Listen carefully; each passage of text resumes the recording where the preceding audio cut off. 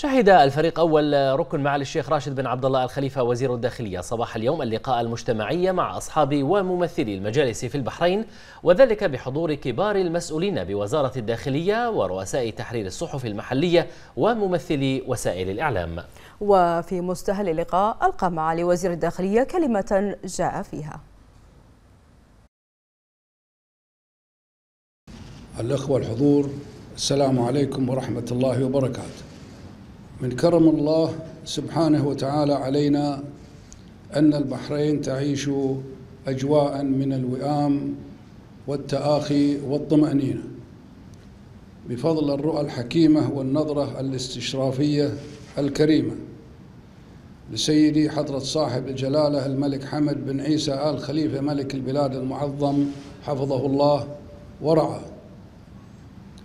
الذي جعل من إرادته السياسية الطموحة موردا متدفقا لمقدرات الثقة الوطنية وبناء حاضر مطمئن وصياغة مستقبل مشرق للمواطن البحريني. لتمضي المسيرة النهضوية الحديثة بخطى ثابتة وعزيمة واثقة. ويسعدني في هذا اليوم الالتقاء بأصحاب وممثلي المجالس في البحرين التي تعتبر ارثا اجتماعيا عريقا ونموذجا حضاريا اصيلا في تجسيد قيم التواصل والترابط بين كافة مكونات المجتمع وتقوية النسيج الاجتماعي وإن دورها التنويري والتوعوي. يجعلها علامة مميزة للمجتمع البحريني بعاداته وتقاليده العربية التي نفتخر بها. وشريكا في تحقيق الأمن ولا يخفى عليكم أيها الأخوة إن أي إنجاز أمني يتحقق. يكون هدفه المواطن. ضمن شراكة مجتمعية قائمة على التعاون والانتماء والشعور بالمسؤولية تجاه الوطن. ويسعدني في هذا الجمع المبارك أن أطلعكم على ما عكسته التقارير الأمنية من إحصاءات إيجابية ولله الحمد فيما يتعلق بمعدل الجريمة في البحرين حيث انخفض المعدل العام للجريمة على مدى السنوات الأربع السابقة بنسبة 30% ويسعدني أن أشارككم هذا الإنجاز الأمني المتميز والذي يعود في تقديري إلى عدد من الأمور الرئيسية وفي مقدمة ذلك المشروع الملكي الإصلاحي لسيدي حضرة صاحب الجلالة الملك المعظم حفظه الله ورعاه. الذي جعل من المواطن الهدف الأسمى في ممارسة حقوقه السياسية بعدالة ومسؤولية وتوفير الحياة الكريمة للمواطنين في أجواء من الطمأنينة والسكينة والاحترام وهو مصدر ومبعث الثقة والدافعية الوطنية التي جعلت من المواطن البحريني بأن يكون هو المبادر في حفظ الأمن والنظام العام والشريك الرئيس في منظومة الطمأنينة والاستقرار. والأمر الآخر هو النهج المبارك والعمل الجاد الصادق الذي سارت عليه الحكومة الموقرة برئاسة صاحب السمو الملكي الأمير سلمان بن حمد آل خليفة ولي العهد رئيس مجلس الوزراء حفظه الله بأن يغدو المواطن. الركيزة والوسيلة والشريك الأساس في مسيرة النهضة الحديثة بنهج حكومي لافت وهو الأمر الذي عزز الأمل لدى المواطنين. ومن بين ما تضمنته منظومة الإجراءات الحكومية التي عالجت الواقع وتجاوزت المواقف الصعبة انخفاض معدل البطالة والتصميم على إصلاح سوق العمل والمعالجات المتميزة لجائحة كورونا التي أبهرت العالم من خلال رئاسة سموه للفريق الطبي للتصدي للجائحة إضافة إلى التحول الرقمي في تقديم الخدمات وتطوير الأداء الحكومي كذلك الإدارة المالية المتميزة. والرقابة الإدارية والمالية المتمثلة في المساءلة والمحاسبة. والمشاريع الإسكانية للمواطنين ضمن برامج زمنية محددة. ويأتي كل هذا على كل حال في ظل توجيهات وتطلعات سيدي حضرة صاحب الجلالة ملك البلاد المعظم حفظه الله ورعاه الحضور الكريم. إن المشاركة الفاعلة للمواطن في هذا الإنجاز الأمني. إلى جانب تقديم الخدمات الشرطية والأمنية على مستوى عال من الاقتدار والتخصص والانضباطية. يضع أمامنا قراءة واضحة لثنائية الشراكة في المعادلة الأمنية بين المواطن والشرطة. والمسؤولية المشتركة في حفظ الأمن والنظام العام. ويسعدني في وجودكم.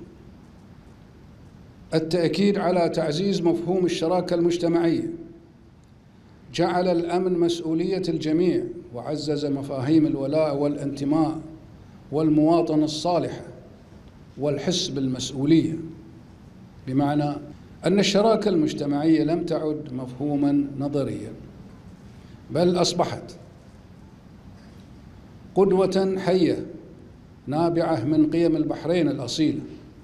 مع التأكيد على أن شرطة البحرين تستمد رسالتها الأمنية من قيم وثقافة المجتمع البحريني ودوره الفاعل في إرساء مبادئ الأمن والسلام مما مكنها من الحفاظ على استتباب الأمن وبث الطمأنينة والسكينة لأبناء المجتمع وإني شاكر لكل من ساهم في حفظ أمن واستقرار البحرين.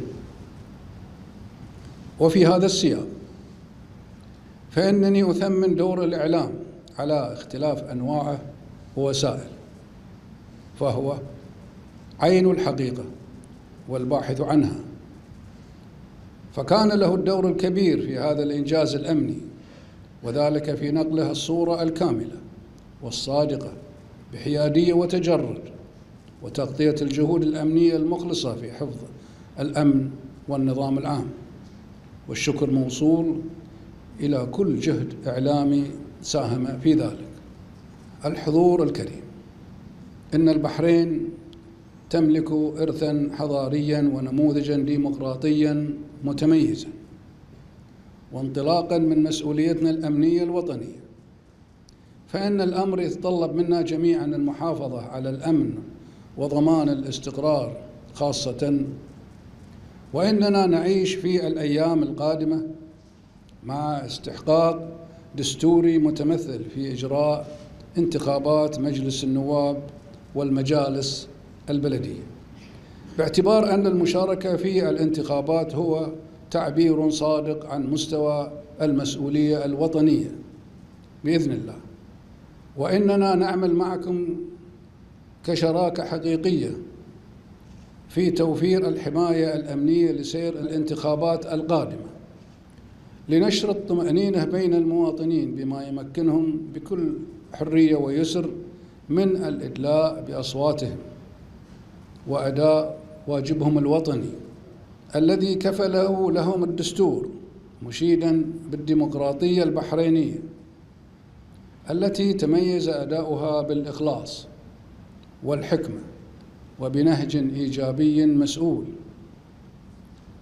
وذلك في إطار الهوية البحرينية الأصيلة وإن التعاون الوثيق والشراكة البناءة بين السلطتين التشريعية والتنفيذية كان له انعكاسه بشكل واضح على الاستقرار الأمني وساهم بدور كبير في الحفاظ على مصالح الوطن وفق حكمة ورؤية مشتركة للوصول إلى حلول واقعية في مختلف الظروف التي واجهتها البحرين. وإني أختم بالقول إن تحقيق الأمن المجتمعي القائم على التماسك الاجتماعي يشكل المكون الحقيقي للجبهة الداخلية الوطنية التي تعمل بروح الفريق الواحد معربا عن خالص اعتزازي وتقديري لكل الجهود الأمنية المخلصة. في تحقيق هذا الاستقرار والإنجاز الأمني وعلى تعاون المواطنين مع رجال الشرطة في حفظ الأمن والإحساس بالمسؤولية الأمنية. والسلام عليكم ورحمة الله وبركاته. بعد ذلك تم استعراض عدد من البرامج والمبادرات الفاعلة التي تنفذها وزارة الداخلية في مجال تعزيز الأمن المجتمعي وأثبتت كفاءة ونجاحا ضمن منظومة الشراكة المجتمعية البناءة ومنها العقوبات البديلة والسجون المفتوحة وهما البرنامجان اللذان تنفذهما الإدارة العامة لتنفيذ الأحكام والعقوبات البديلة حيث أشار الشيخ خالد بن راشد الخليفة مدير عام الإدارة العامة لتنفيذ الأحكام والعقوبات البديلة إلى دور العقوبات البديلة في خفض نسب العودة للجريمة موضحا أن نسبة الانخفاض بلغت هذا العام 33.13%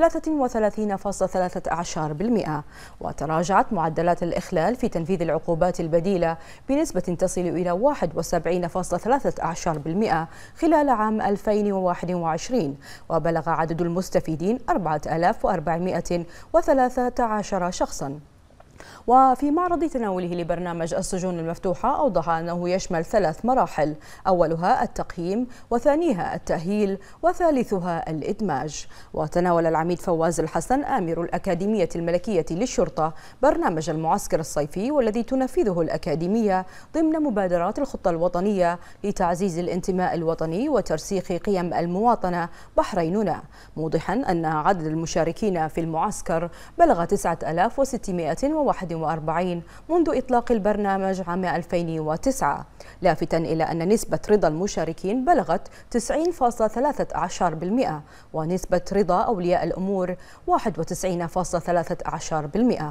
وتناول الدكتور يوسف محمد عضو المكتب التنفيذي لبحريننا المشهد العام للخطة الوطنية ومراحلها منوها إلى إقرار 107 مبادرات. كما استعرض أهداف وقيام برنامج كفو وكذلك المنصة الوطنية لخبراء البحرين خبراء. من جهته استعرض الرائد ناصر الكبيسي من الإدارة العامة لتنفيذ الأحكام والعقوبات البديلة مبادرة فاعل خير والتي تنفذها الإدارة لافتا إلى استفادة 429 حالة.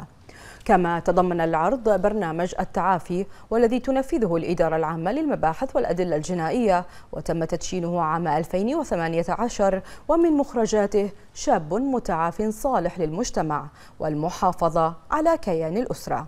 واختتم العرض أو اختتم العرض السيد علي أميني مدير برنامج مكافحة العنف والإدمان معا والذي تنفذه إدارة الوقاية من الجريمة وشرطة خدمة المجتمع مؤكدا على انخفاض السلوكيات في المدارس بنسبة